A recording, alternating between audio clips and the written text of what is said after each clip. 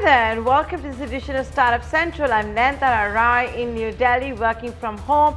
This is the only show of its kind on Indian television dedicated, of course, to startup, but also technology, innovation, disruption. If it falls under the bracket of the new economy, it's here every weekday on ET Now at 6 p.m. Ladies and gentlemen, our generation would never see a bigger event, a bigger disruption rather, I should call it, than the pandemic COVID-19. Sequoia, for example, calls it the black swan of 2020. You could have never foreseen it. Whatever you do today, you will still remain underprepared for it. And the whole generation out there, which have perhaps uh, studied so much, are having sleepless nights, are so anxious about what the future holds for them. I'm talking about the class of 2020. Yes, everybody is anxious, but we, let's have a thought for once what class of 2020 must be going through. Many of them have spent so much money going to Ivy League schools. Many of them have taken bank loans uh, to go for classes and to go and get degrees that they've always dreamt of. They're scared that will their degrees even be relevant in the post-COVID world. Campus recruitment is perhaps one of the biggest uh, fatalities of COVID-19. And this is something that Sundar Pichai, the boss at Google, spoke about uh, overnight. Was sharing a stage uh, with uh, Barack Obama, Michelle Obama, as well as Lady Gaga. And I like to quote uh, what Sundar Pichai told the batch of 2020 over here. You know, and Sundar Pichai saying it, I'm sure it is certainly a word of inspiration that is coming in. So here I am quoting Sundar Pichai for you for the class of 2020. Be open, be impatient, be hopeful. If you can do that, history will remember the class of 2020, not for what you lost, but for what you changed. You have the chance to change everything. I'm optimistic you will. The important thing is to be open-minded so that you can find what you love. So take the time to find the thing that excites you more than anything else in the world. My father spent a year's salary on my plane ticket to the United States. That's what it really took for Sundar Pichai to get to the US. And now, of course, uh, it's something a lot of us are dreaming of uh, for our children, what Sundar Pichai has achieved. And of course, the class of 2020 probably hoping to be the next generation's Sundar Pichai. He also said, the only thing that got me from here to there, other than luck, as it is a deep passion for technology and an open mind. That's Sundar Pichai, quote unquote, for you.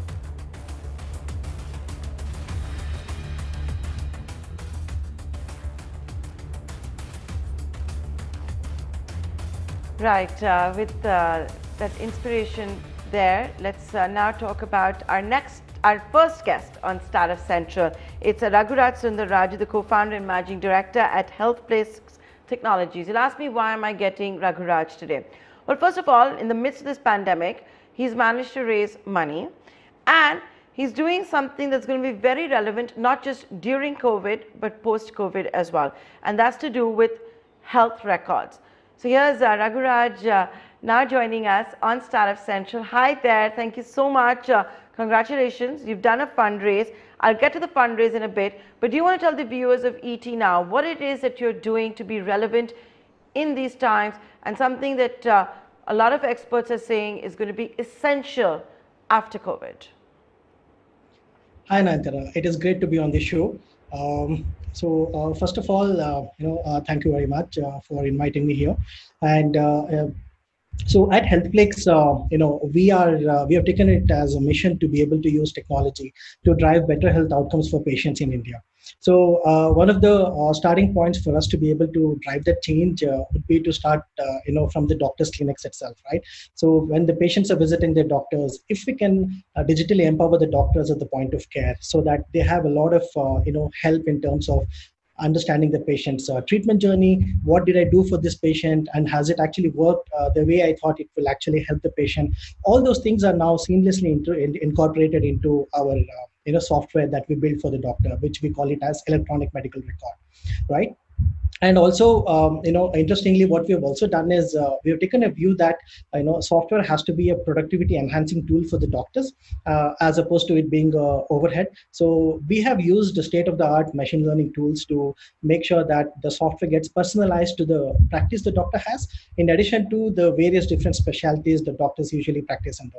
Just to give you an example uh, a doctor who is uh, treating a patient who has got a cardiac problem would need a different type of software as opposed to a doctor who treats a, a you know patient who has got some malignancies right so what we have done at healthplix is we have recognized that every doctor uh, is unique, not just based on the specialty, but also the type of practice that they have uh, cultivated over several years of their own practice. So, uh, putting all these things together, uh, you know, HealthPlix has built a state-of-the-art uh, electronic medical record software, you know, which is highly smart, highly clinically relevant, which is actually going a long way in digitizing the heart of healthcare. That is the orchestration of care itself. So, this is exactly what we do and we've been doing it for several years and uh, you know in the last uh, you know four and a half five years of the journey we have managed to get uh, 5500 doctors to embrace digital tool while they're treating their patients. So this is a very uh, significant shift because uh, you know um, the software has to you know really make sense in the context of india. Uh, the infrastructure is uncertain. The patient load is too much and uh, there is a lot of diversity that is uh, you know out there in our country. And we uh, you know took it all and then we basically built the software from the ground up for indian conditions. And then uh, today you know we are present in 183 cities and uh, you know in 20 states across the country right? That was the journey until uh, covid started and uh, post covid what happened was uh, you know technology in healthcare held a lot of promise. This is not new right? Like it is something that everybody understood.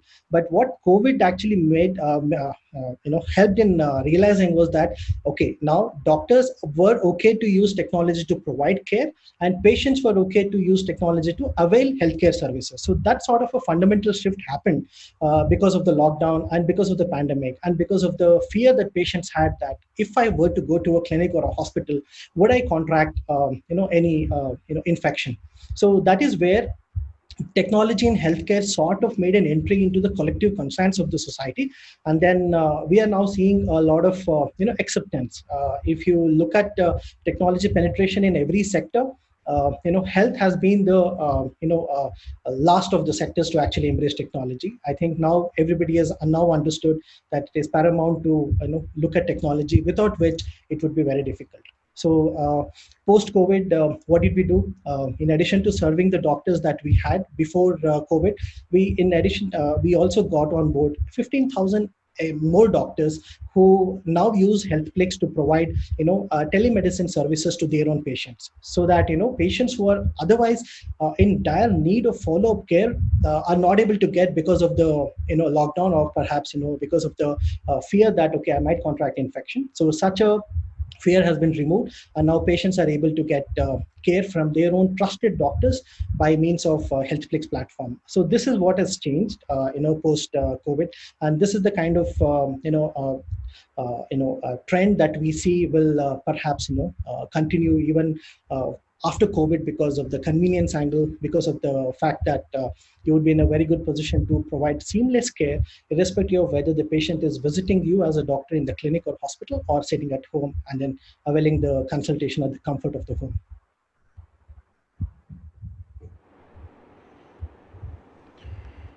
Okay, I have to ask you one question as well, and it's very relevant in the times that we are in at the moment. Our uh, healthcare infrastructure has been exposed. So I should say the lack of health uh, infrastructure is now for all of us to see. You talk about how you have 5,000 doctors on the platform and all of that. But, you know, and it's something I ask everybody I get from telemedicine on the show. If the best of doctors are right now COVID heroes and are fighting at the war front, what are companies like yours or whether it's Practo or eClinic and all of those, what, what is the quality of the doctors that you have? Yeah. Um, so uh, at HealthPlix, uh, you know, we um, we took an approach of you know getting doctors uh, you know practice on a digital platform. It was not just a uh, you know technology medium through which they consult patients online. Uh, you know, it was important that we uh, start you know this particular trend of getting doctors to use software inside their clinics while their patients is sitting in front of them you know that sort of a trend can only be perpetuated if you got the best of best doctors embrace this uh, technology.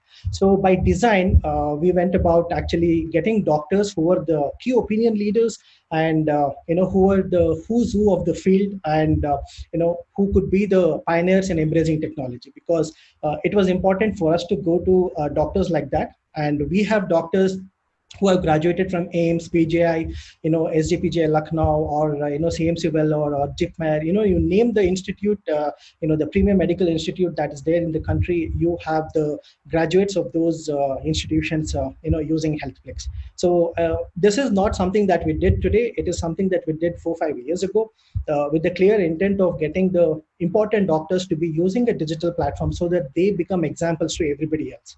So the 5,500 doctors and the additional 15,000 doctors that we have got are today, uh, you know, the top, uh, you know, uh, physicians and doctors of this country.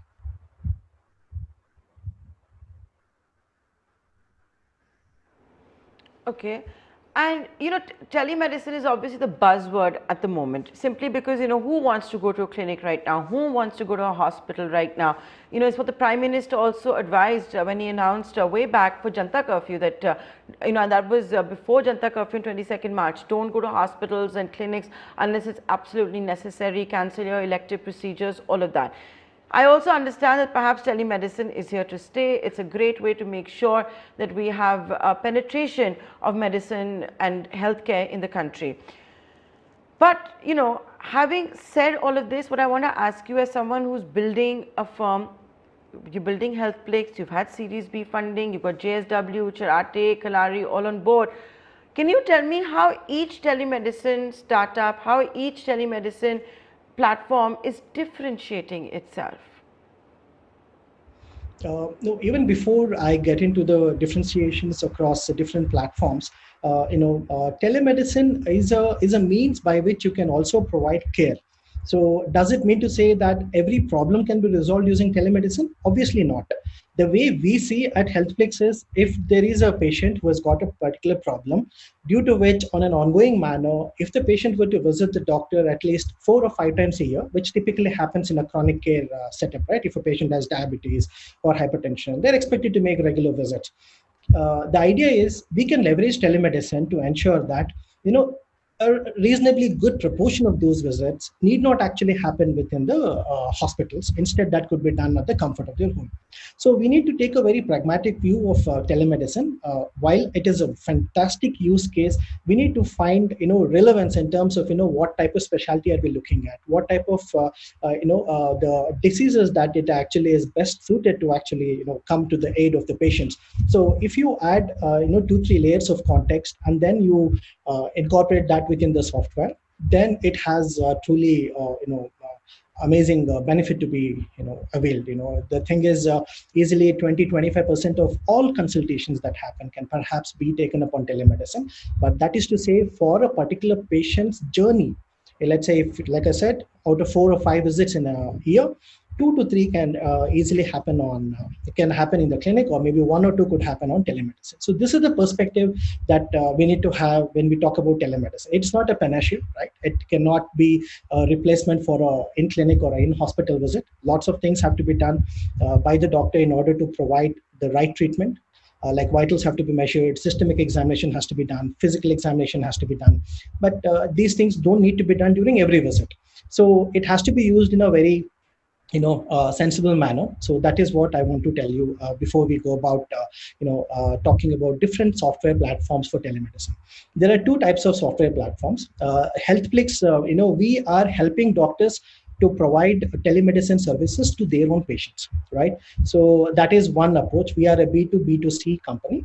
And there are other companies which are directly you know reaching out to the patients and saying hey i have these doctors. Why don't you use our app and get consultation over uh, my platform? So that is the difference. Here that uh, eh, within healthplix it is the doctor who decides who is uh, eligible for telemedicine based consultation and who is not eligible for telemedicine based consultation because we felt such a decision must be done by the doctor and it is uh, uh, perhaps uh, you know uh, not something that we as technology uh, players can actually you know decide uh, upfront.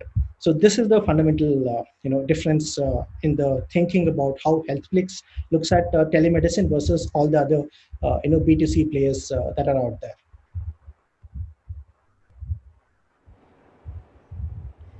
So now tell me, how did you, how was your experience uh, of the latest fundraise? You got JSW Group, for example, uh, to part with uh, cash. How did that happen? Were these conversations happening pre-COVID and uh, they continued and now you've closed it or did you realize the need for it because of higher traffic and all of that uh, during the lockdown? Uh, see, uh, Nayantara, no fundraise happens in a month. Usually, it does not happen. It has its uh, lead time. So we have been in discussions, uh, and then all the uh, uh, you know follow up meetings and calls uh, you know for the last uh, you know five months four to five months.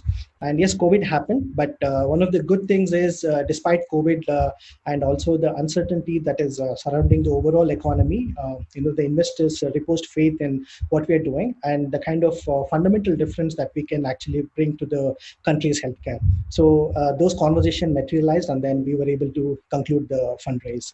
So this was something which had started prior to covid itself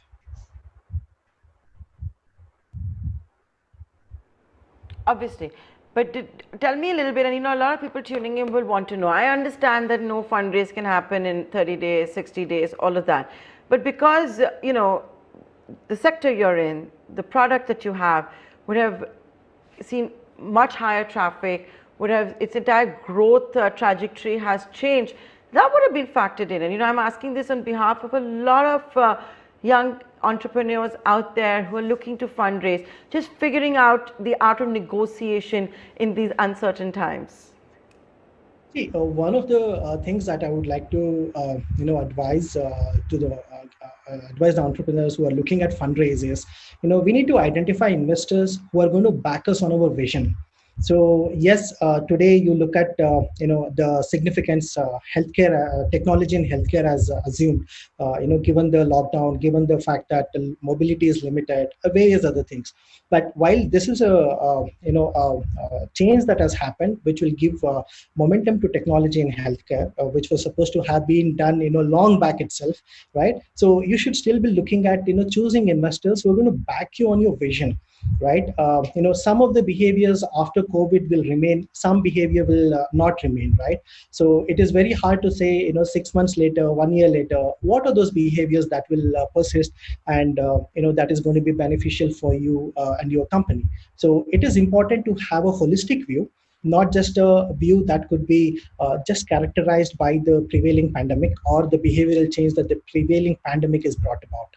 So um, you know, look at a look at a horizon. You know, uh, have multiple scenarios uh, in your mind. Uh, you know, uh, post one year, what are the possibilities? Post two years, what are the possibilities? What I'm doing, will it be still relevant? So, what sort of an impact that we are going to be creating? Are our investors in line with uh, the kind of impacts that we are looking at driving? These are uh, you know more important questions as opposed to you know telemedicine is booming online pharmacy is booming. You know those things are were supposed to happen uh, anyway. If not uh, post covid it would have happened in the next two to three years right? So this is what i would uh, you know look at uh, you know uh, telling anybody who's looking at a fundraise. Because it's a it's a long journey. You know you might have several such instances you know which will come up. So it cannot be just characterized by one or two things